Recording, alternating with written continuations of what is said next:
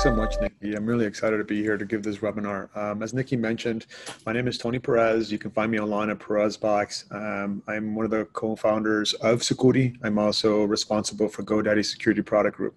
Um, and as she mentioned today, we're going to kind of dive a little bit deeper into our hack report. For those that are unaware, we've been doing this for the past couple years. Um, and what's really cool is that you can kind of start seeing this trend and this change over time. There's a lot of consistency, but it gives us a lot of things to talk about. And it's just a nice way to recap. And so um, that's what we're going to do.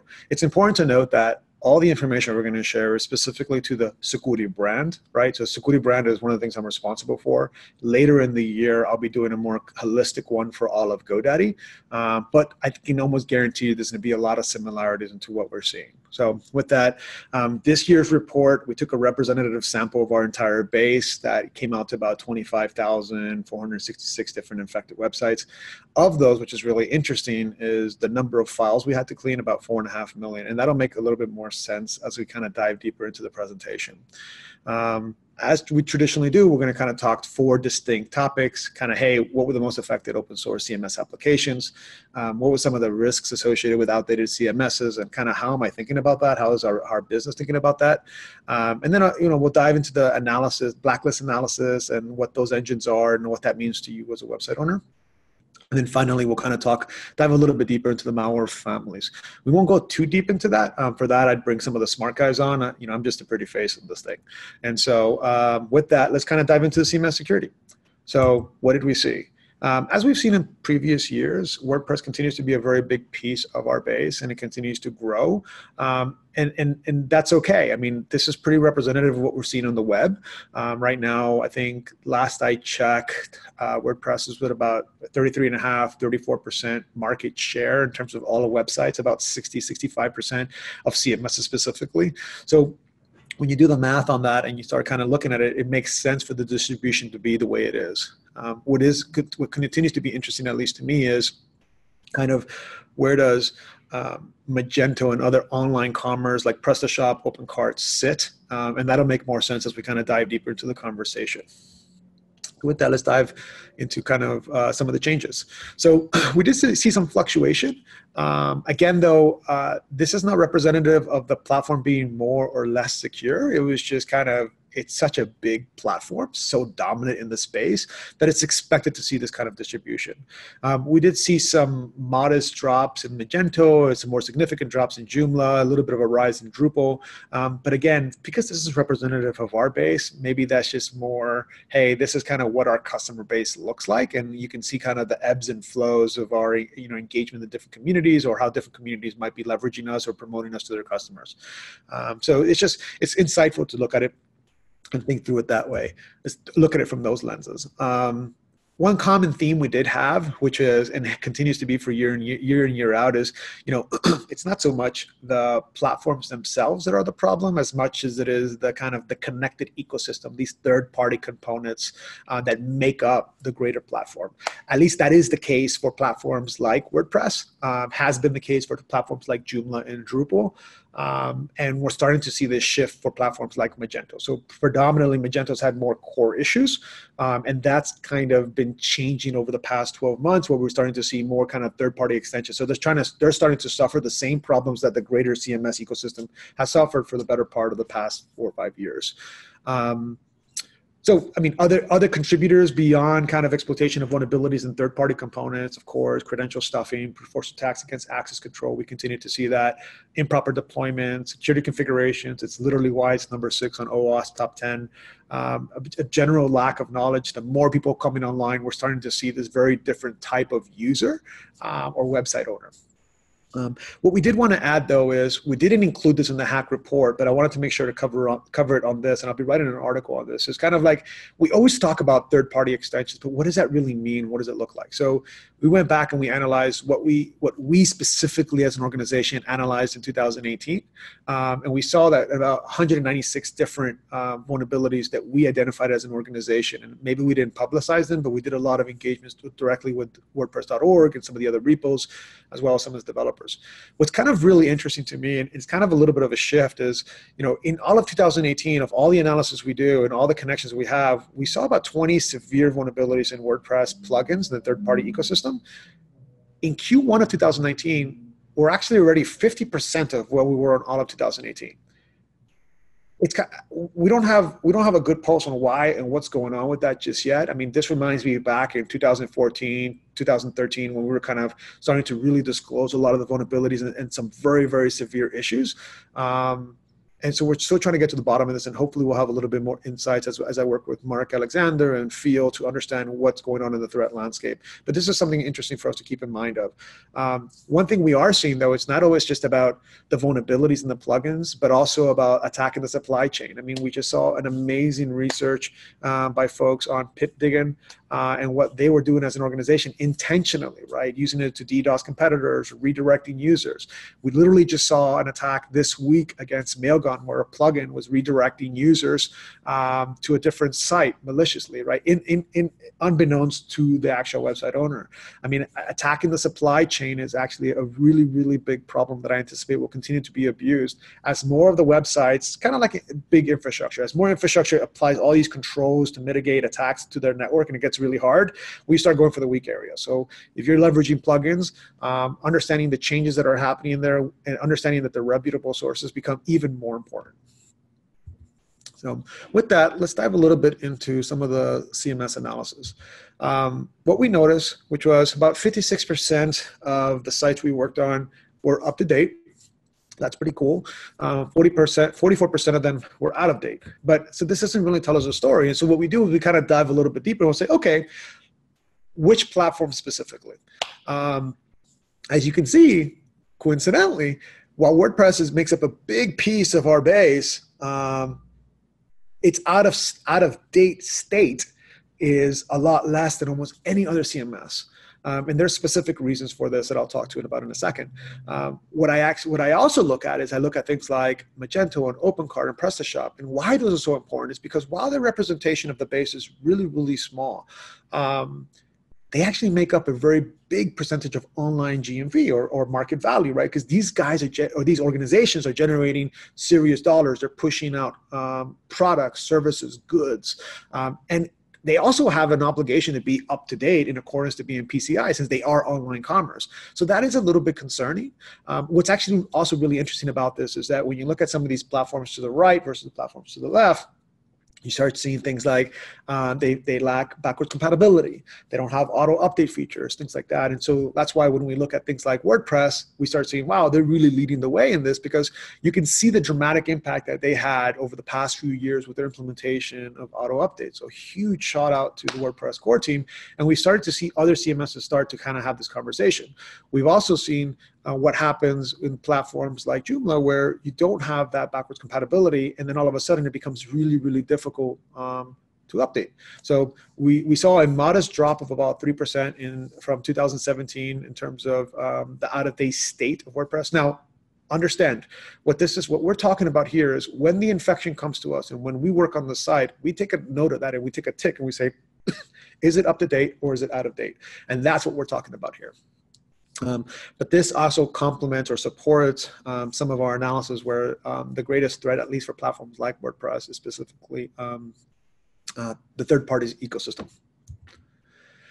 Joomla is a little bit of a different story, right? I mean, we saw a pretty interesting rise in the out of date state of Joomla. Um, and that just, you know, the way I look at it is as the platform continues to progress and evolve, the lack of focus on backwards compatibility actually has a material impact on users, right? Um, all of a sudden, there's no clean way to make that progress. And so you have a lot more of, well, I don't want to make an update because I don't know what's going to happen and it's going to break and I don't want to risk my site being down for whatever reason. Um, so it's, it's something worth keeping in mind and, and, and taking a look at. And this is specific, you know, when you have issues like this, couple that. So Joomla, like WordPress, um, has a third party ecosystem problem, but it also has the same problems Magento has, which is has core issues as well, or severe core issues. Speaking of which, um, when we look at Magento, we did see a rise in out of date state. But what's kind of interesting, and Willem's lab kind of talks about this really nicely. He's a, he's a great researcher that focuses a lot of en- energy on Magento. He says, that, you know, when he looks backwards in time, Magento has had um, some pretty significant core issues, uh, and that's been the thing that people exploit.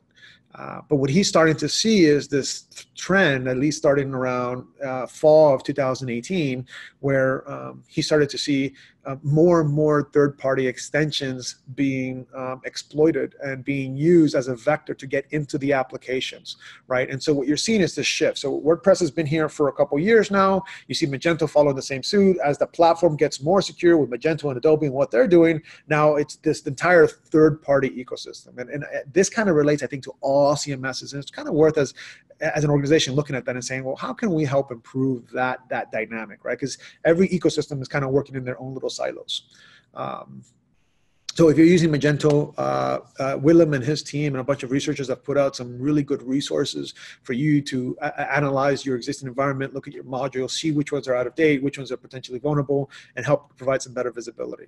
My biggest concern here are things like PCI, online commerce, and the fact that specifically for platforms like Magento, um, which is very similar to Drupal is to websites, but Magento is to online commerce, which is large enterprises are using it, pushing serious GMV through it. Um, we need to be having a more serious conversation on how we're going to get ahead of, of some of these threats. Let's dive a little bit into blacklist analysis.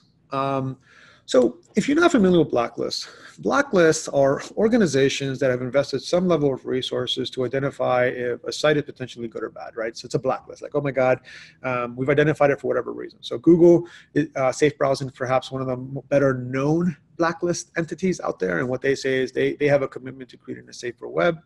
Um, and so uh, their blacklist engine uh, scans all the sites on the web that are coming online that their, their search engine finds or their crawlers find. And they say, okay, hey, um, you know, is it distributing malware? Does it look to be deceptive? Is it doing some kind of uh, search engine poisoning attack? Something along those lines. And then their whole intent is to create a safe experience for you or for me or for any of the online users. And so they say, hey, if you click on a link and it's deceptive or it's distributing malware, we're going to tell you and we're going to present it with this really big red screen. And this red screen is designed to deter you from proceeding, right? Uh, so they make it really difficult. So you can click on details. Sometimes it lets you go, sometimes it doesn't it's all about trying to create a, a, safer experience. But they're not the only ones. Um, and what we've actually identified in some of our research and conversations with, and this is a bit anecdotal, right? Um, we've noticed anywhere between 85 to 95% loss in traffic when you do get blacklisted by an organization like Google. Now, so if you're a large organization, hey, maybe that doesn't mean anything to you.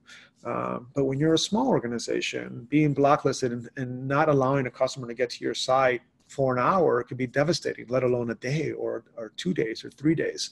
Um, so it's something to be mindful of. And it's one of the reasons that we kind of suck in uh, these blacklists and so what we found is that about 11% of the uh, infected websites that we worked on were actually blacklisted. And you kind of scratch your head. He's like, well, why is that? Are these guys so much better? Eh, I, don't, I don't necessarily think so. I think we just look at things a little bit differently, right? Um, and, and you'll see in a second when I start talking about some of the blacklists themselves and the differences, you'll kind of see why this is. Uh, but what I can tell you is that um, one of the reasons that this distribution is the way it is is because uh, when we do our scans, we're looking not just uh, when we're working on these infected sites, we get to see the whole world, right? We get to see what's happening on the back end, what's happening on the front end, what's evolving in the in the landscape, um, and so we're constantly evolving and checking, and so we get to compare, like, hey, this is the real state versus the rest of the world. What's being detected? Um, so that's that's that's really interesting. Um, oh, and if, if you're if you're curious and you want to read more about blacklists and what they are, we do have a link here. We have a guide that we put together. Uh, it's an educational guide that just helps you kind of walk through the process. So let's talk about the blacklist. So you, you, heard me talk a lot about Google, but what's really interesting is that Google is actually the third, the fourth of the blacklists that are driving some of our detections. What's actually driving, when you look at this, to the left of this graph, you see um, a lot of the antiviruses, you know, the Nortons, the McAfee's, things that you have sitting on your notebook, right, that tell you if you have malware or not. And then to the right of it, you have like the Yandexes and the Googles. And then we have a few others. We have like um, Spamhaus, we have things like PhishTank, things like that. Uh, but these are these four make up the biggest representation. They make about 40% of all blacklisted websites are coming from these four. The left two on the AV are things that hey, this site is trying to do something that we don't acknowledge on your desktop, right? These are AVs, the Nortons and the McAfee's. And they have a bunch of different triggers. Speaking of which, None of these function the same.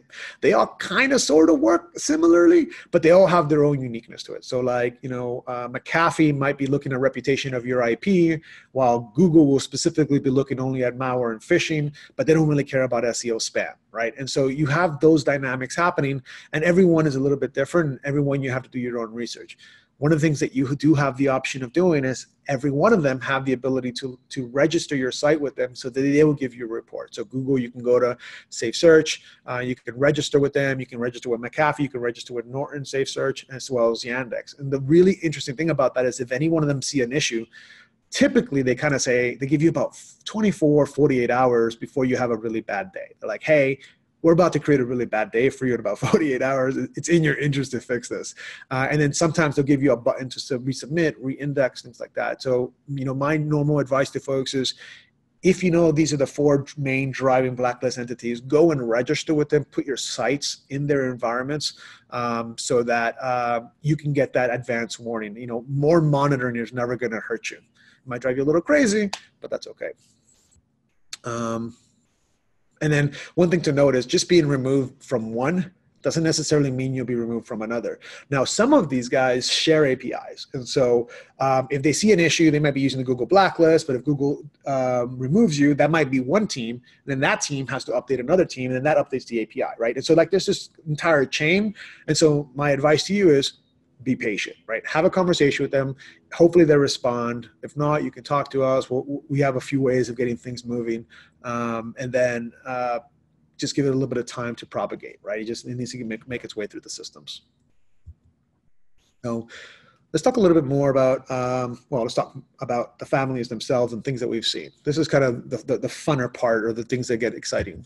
So these are like, hey, what are the tactics, techniques, and procedures that attackers are doing? Like, so they compromise you, and then what? Like, what was their action on objectives? What we call in the security space. Um, and so we see is this really nice distribution of different types of malware types or, or malware family distribution. Um, and on the left-hand side, for the past couple years, we've been talking about backdoors. Now, you know, what are backdoors? There are ways for people to bypass access control, et cetera. And I'll dive into that uh, in a couple slides. Um, then you have things like malware. You know, these are intentional things. Uh, you know, credit card scrapers, drive-by downloads. Hey, you know, you're, you're infected. Click this button. Download a fake AV. They put a Trojan in your environment or a rat in your environment. And, and in fact, if you think back to the DNC hack of 2016, uh, it was a benign website that was distributing a malware dropper that was used to download a rat into the environment. And so when the user went and took that notebook and put it into the DNC network. Um, the, the the rat was able to then propagate, you know, burrow into the network that way, right? That's a really great example of what happened there. Um, and then you have other things like SEO spam that continues to rise, and we'll talk to that.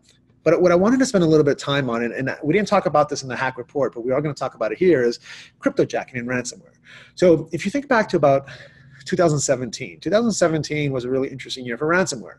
We saw a lot of interesting noise happening around ransomware on notebooks, right? People abusing, um, you know, through email attachments, through website distribution, abusing um, OS software vulnerabilities, um, and infecting large organizations. Now, ransomware in the in the desktops and the notebooks is still a pretty interesting problem. We just saw Atlanta get hit by this a few months ago, right? Um, where it hasn't been very effective has been on websites. Why? Well, websites, unlike desktops, is a little bit different. You're usually on a host, and most reputable hosts will give you traditionally like 24 hours of free backups. Um, so even if you get infected, somebody tries to steal your information, deletes it, there's usually a decent way to recover it. There's a funny story there where I once dis- destroyed a customer's site, and thank God the customer was able to help us. Um, it's literally why they don't let me touch servers anymore. Um, in any event, uh, so ransomware just wasn't very effective. And so that that that that attacker base was like well there's no real money in it right? So you know people what attackers need is incentive time and motivation right to do it. And so if there's no incentive in terms of monetary gain right or social gain then why do it? Now enter cryptojacking so cryptojacking is kind of interesting. So if we think back to about a year year and a half what we see is this meteoric rise in cryptocurrency, right? All of a sudden, one coin is worth $20,000. And it's like, oh my gosh. Well, what does that give us all of a sudden? That gives us incentive.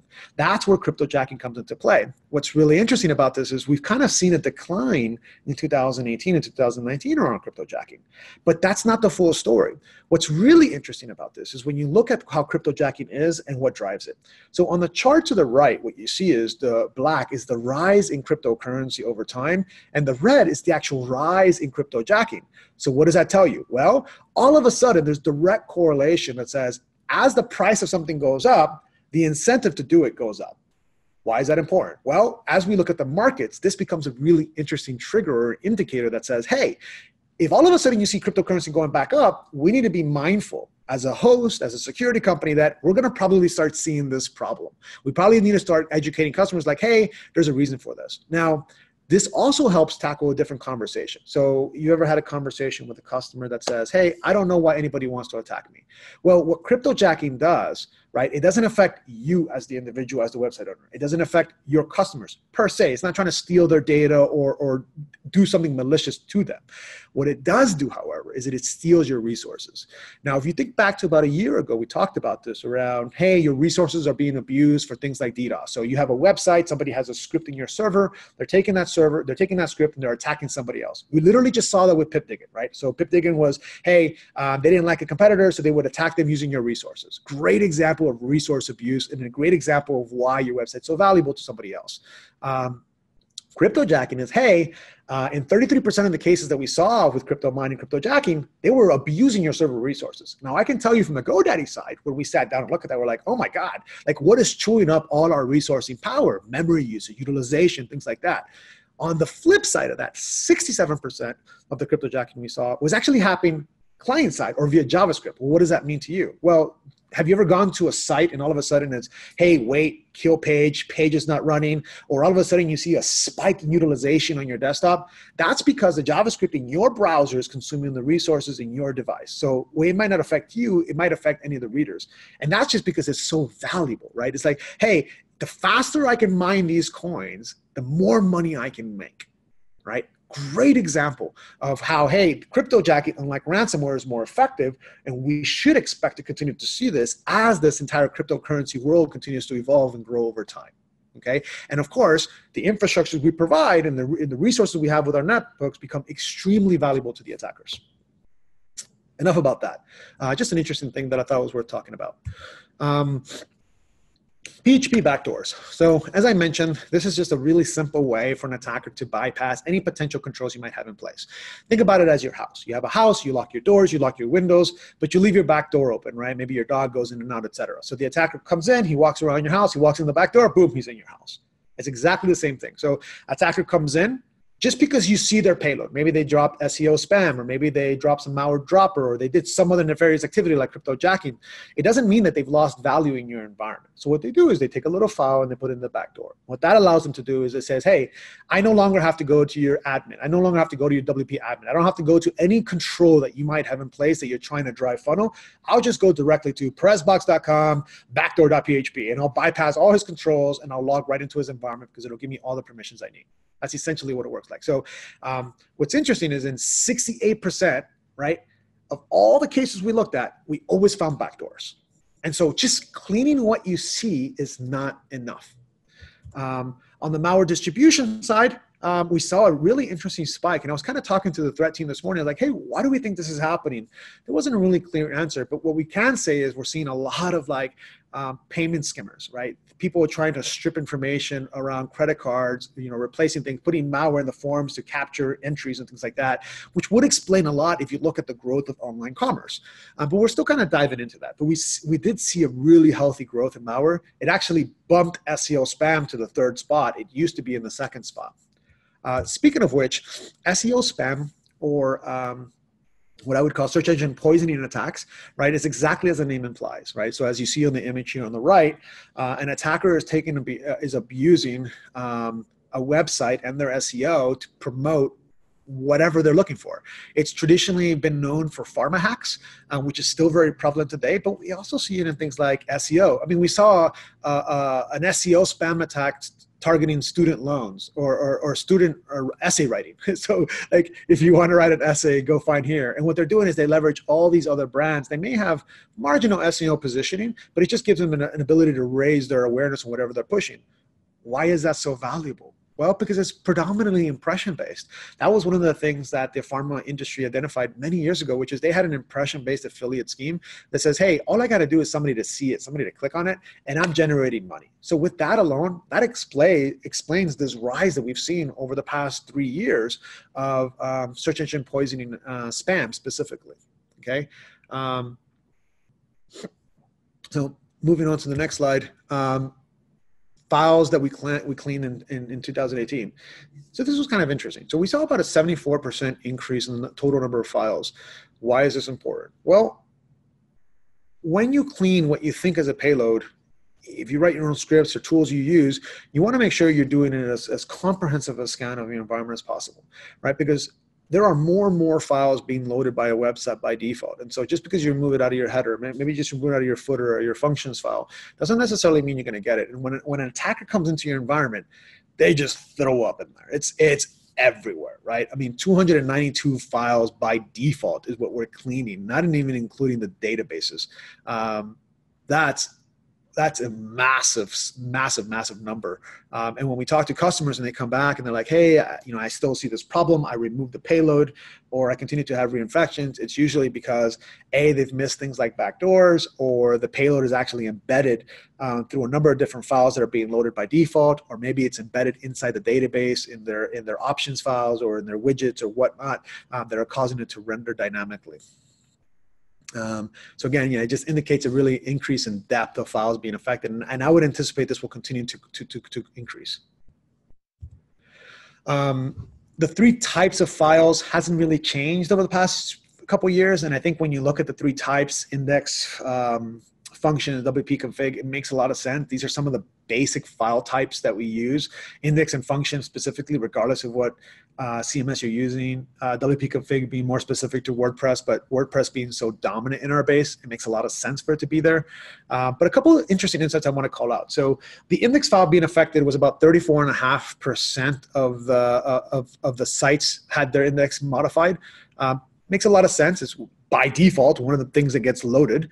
Um, a number of different things that we saw in here. About 24% of these files were hiding file inclusions. Um, so, you know, what they're doing is they're leveraging like hexadecimal and whatnot, trying to hide things like include, include ones, Um, and then about 16% of them were using uh, uh, uh malicious PHP scripts. And so what they're doing is instead of uh, bringing the include inside the file itself, they're calling other files and injecting those. Um, and it just helps, uh, it makes it more difficult to detect it and obfuscate it. It kind of creates this chain that you have to go chase down. Um, but we saw a number of things like malware distribution, server-side scripts, DDoS scripts, mailer scripts, a lot of phishing coming through this um, file type, black, black hat SEO and conditional redirects.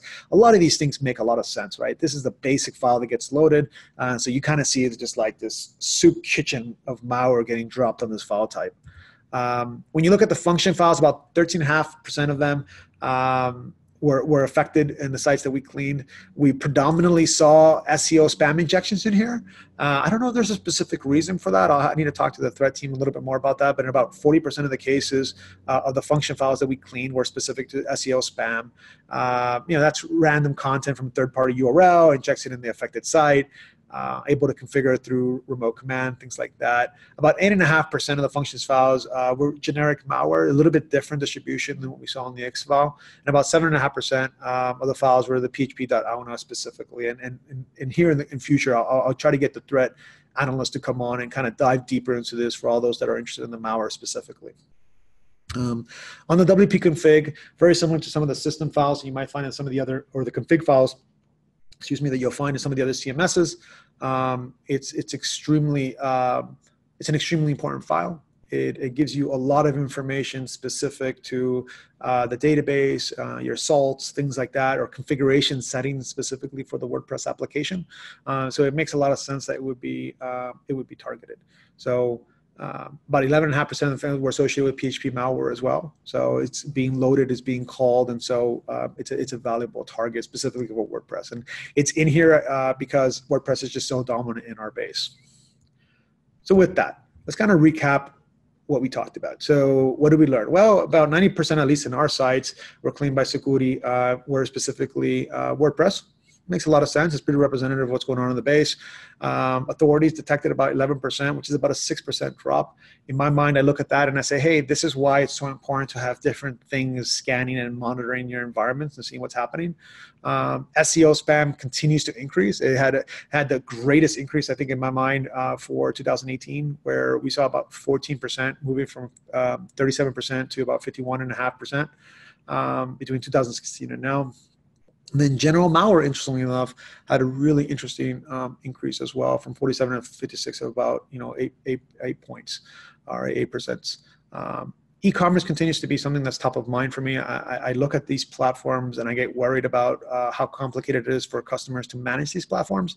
Um, they have an obligation for things like PCI, uh, but we're still seeing it very, very difficult for them to kind of tackle these issues. So, um, why do they happen? Like, what? Why is this thing such a thing right? Um, and this happens for a number of different reasons. One I, you know when i look at it i think that the technical aptitude required to get online these days is dramatically changing. It's a very different online ecosystem than we saw 10 years ago let alone 20 years ago.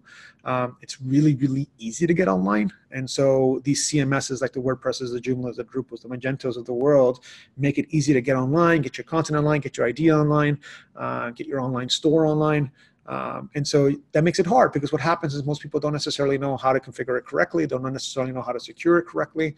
Um, and so you start seeing things like misconfigurations, right? I can't tell you the number of times that I've had co- conversations with customers like, but I bought a web application firewall, but it was never configured correctly. Or, it, you know, external access directly to the server was never um, controlled. Um, or we see a lot of cross-site contamination. So you have a soup kitchen server, you have all this content on the server, all these different sites. Maybe you have your online store with a blog and a main site, etc. Um, but they're not isolated correctly. So we're not practicing basic best practices like functional isolation, right, or um, least privilege, things like that. Um, we continue to see a lot of abuse against access control. Um, you know, credit start, uh, uh, credential stuffing. Uh, in other words, trying to throw as much of the username and passwords to a login form trying to get in. We still continue to see really, really bad online hygiene. So, you know, you're using the same password across a number of different applications. Um, that gets more complicated as we start seeing more and more organizations getting compromised, like the most recent 500 million uh, credential leak from Facebook. Um, and so, you know, these are behavioral things. You know, when I look at this, I think this is basic website maintenance um, and, and improper practices around website maintenance and improper um, understanding of, of basic security, understanding that it's a continuous process, it's about risk management. Um, and then a lot of people looking for absolutes so you know they they might get a false sense of security by deploying a specific security tool or specific control but they don't understand the concept of defense in depth or defense in breadth where you're looking at the full scope or the width the breadth of the of the landscape um, and so that's kind of what's going on um, in terms of the why specifically the attackers do this well because it's valuable. You know i talked about um, it's valuable in the sense that i can abuse your customers. It's valuable in the sense that i can abuse you as a website owner but it's also valuable in the sense in the form of things like cryptojacking or, or ddos scripts or mailer scripts that i can take abuse i can take advantage of your resources because it's still expensive to get online and do things if I can abuse your resources and give you problems with your providers, I don't have to worry about that. I can just go on and when that shuts down, I'll just go to the next site and abuse those resources. And if that doesn't work, I'll abuse you via client side infections that allow me to take advantage of your notebook, right? Um, so there's a lot of value. There's a lot of value here for somebody to sit back and just say, hey, I'm going to attack as many websites as possible um, and do whatever I want with them, and then and, and just make as much money as possible. So what can you do to stay? What, can you do to stay online? So on the right hand side here, um, I provided a couple of different articles that are really interesting and insightful. So um, uh, of course, I'll, I'll, recommend Willem's Lab if you're a Magento platform. Um, here at Sucuri, we've written a couple of different guides for WordPress. Uh, we'll have one for Magento coming out soon, for Drupal, for Joomla. And these are just really basic guides that help you like, hey, this is how you should think about security. These are the things that are specific to your platform. Um, and so I encourage you to use them. Um, the Open Web Application Security Project, OWASP, big fan of them. They came out with their own security implementation for, for WordPress. I encourage you to take a look at that. Um, the WordPress.org repo has the same thing. Almost every platform out there has some rules or implementation guides that they've built based on best practices and feedback from the community take advantage of that. That's why they're there. Um, but a couple other tips that you think should think about. You know, of course, always try to stay as up to date as possible. If it's impossible for you to get up to date, like we've seen in some of the other platforms to the right of that chart, um, then you should be looking at other technologies. You know, cloud-based web application firewalls are definitely a technology that are being in, incorporated more and more uh, because people understand that they just can't get to those updates fast enough. So what these application firewalls do is they provide you with this concept of virtual patching and virtual hardening. What that allows you to do is um, it allows you to mitigate an external attack from exploiting a potential vulnerability, whether it's a third-party component, whether it's your server, um, what we call right at the edge. So in other words, that attack never hits the origin or your server itself, right? So that just gives you a little bit more time to pressure test whatever patch came out to make sure it doesn't break, et cetera. Um, and if you're a small business, that's exactly what that technology was built for. Um, of course, I can't stress this enough. I can't tell you the number of times we've cleaned somebody that didn't have a website, right? And so um, I encourage you to have a website. It's the cheapest thing you can do. It's a, it's a safety net. You can get it from anywhere. You can create your own. It can be free. There's a lot of technologies out there that allow you to create your own tar balls, push it out to another server. Whatever you do, don't keep it on the same box, right? I can't tell you the number of times we've cleaned somebody that, A, they didn't have a backup, which was a problem, but then they had a backup and it was in the same environment. So the attacker comes in, highlights everything, deletes the whole environment, and like, but I had backups. And I'm like, but why did you have it in the same environment? Um, I, am a big fan of detection, right? Daniel has instilled that in my head time and time again. Watch what's going on, leverage things like file integrity monitoring, uh, look for changes. So I talked about three specific files, wp-config, functions, and index. You know those are the files that get um, modified the most or attacked the most. Add some file integrity monitoring on those. So if, if a change happens, you get notified immediately and you can kind of tackle that. Um, of course, running HTTPS, running uh, SSL TLS on your site is kind of a default these days, right? You should be running that. You should be encryption, encrypting between point A and point B. Um, but that is a very important distinction. HTTPS does not secure your site.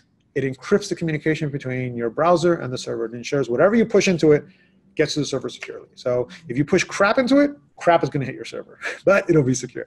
Um, of course, adhere to the principles of least privilege, employ access control measures. Um, and then uh, the last one here is, you know, my, my personal favorite is employ things like um, whitelist approach. Uh, so what that does essentially, it blocks everything by default and allows only known goods. There's, there's some cool tools out there that are free like ipauth.net that allows you to create a, a server, a, a key, a private public pair relationship um, that allows you to quickly uh, do like a knock and update your IP in your environment, um, and and that allows you to deploy a whitelist. And I'll write another article on that at a different time. But there are a lot of ways to do this.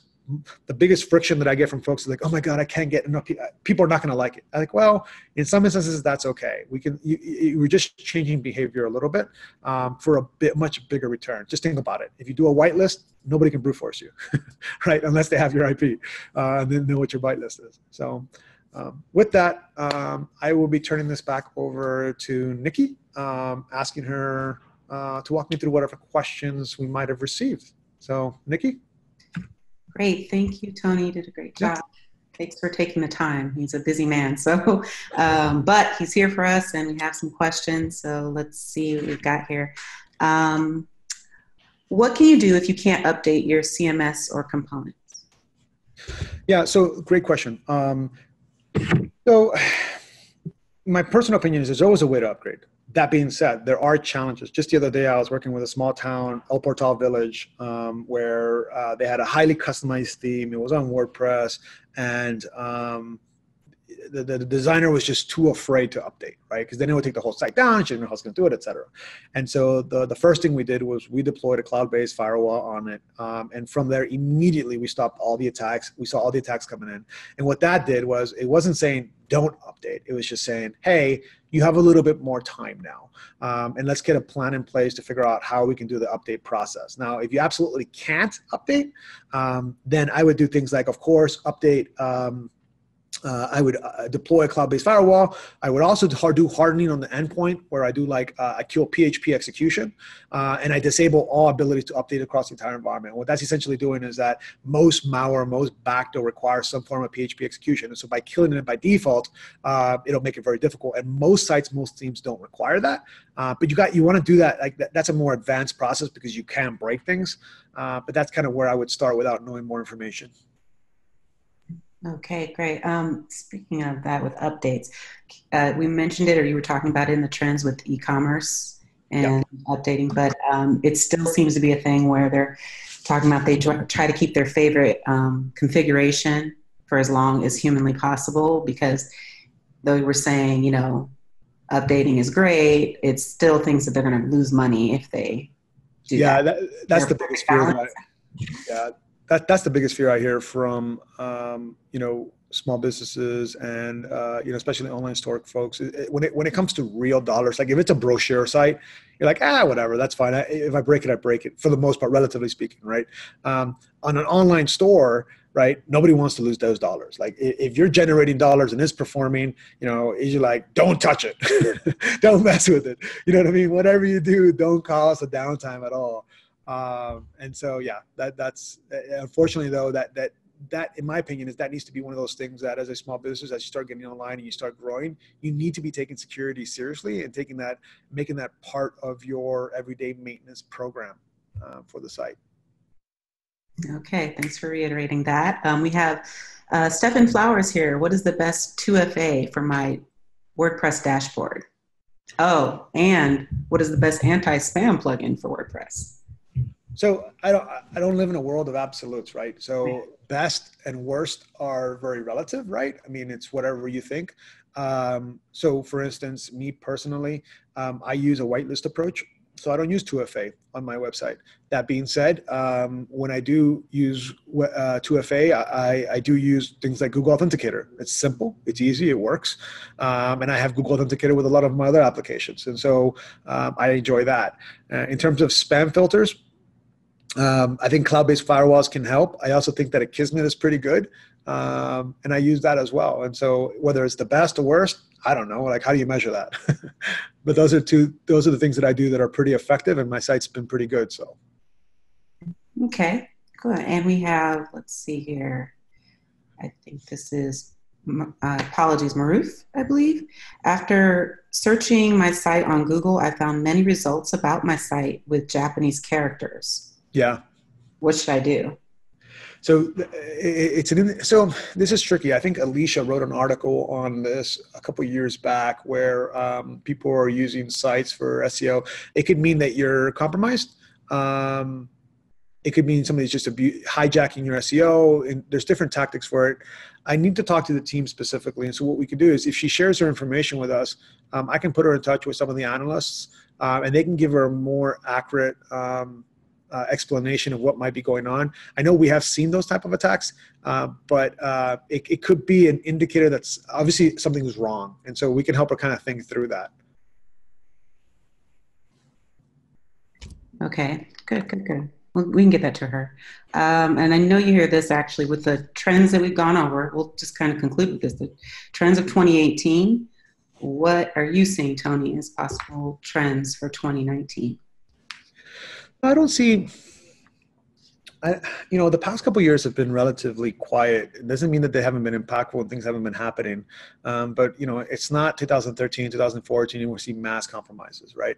I think what I'm most interested about is the the severity of some of the vulnerabilities being disclosed. I wonder if we're kind of, a, you know, at a inflection point where either an, inf- inflection of new users or just a state of plugins or whatever, or extensions, when we're seeing this rise in Magento, um, all of a sudden becoming more in the third-party components, and then this issues in the on the number of severities in WordPress. I kind of think about that. Um, I look at what just happened with Mailgun um, this week, and I think about supply chain poisoning. It's been happening now for a couple years, um, and I kind of wonder where that's going to go. I wonder where more of these attacks that abuse resources like cryptojacking or DDoS scripts are going to be. Um, but I mean, I don't anticipate something material outside of maybe a, a massive compromise in a host of some kind. Um, but outside of that, I, overall, I anticipate that the CMS environments are going to continue to become more secure by default. I think that that's directionally correct. I think WordPress is going to continue to lead the charge on that. And I would expect that more and more platforms are going to start following suit. We've started to see more conversation in this in other environments. Um, and I don't know if 2019 will be the year that we'll see kind of backwards compatibility and upgrade issues or upgrade uh, auto upgrade opportunities. But I would say that as we get into 2020, we should start expecting that, and which will have a material impact on the web as a whole. I think. Um, and then I think we could see seeing more and more hosts integrating it as a default configuration. I think that, um, you know, I, I, think it's just directionally the right way. A more secure by default environment, not just in CMSs, but in the hosting environment as well. Um, I think customers expect it. Uh, I think customers are getting tired. There's a little bit of fatigue going on, and like, oh my god, how do I get my head around this stuff? Um, so that's that's kind of where my head's at in terms of moving forward. Great, great prediction there. Okay, well that that is um, pretty much most of the questions. If there's some others that are coming through, we've kind of got to wrap this up here. Sure. Uh, your time, appreciate it, Tony, and for everyone who attended, appreciate it being with us. I hope this was beneficial for you. Again, this is a video recording. We'll get it together for you guys, and there will be an email sent out to just our registrants. Uh, we want to see any of our webinars, they're at sucuri.net slash webinars. Uh, for anyone who joined us late as well, everything will be available. Uh, I'm going to just say my goodbyes to everyone and give you your last moment to say anything to our attendees. Thanks everybody for your time. Um, and if you have any questions, feel free to reach out to me at perezbox or hit us up at Security, uh, Security um, on Twitter, and we'll be happy to engage. Take care.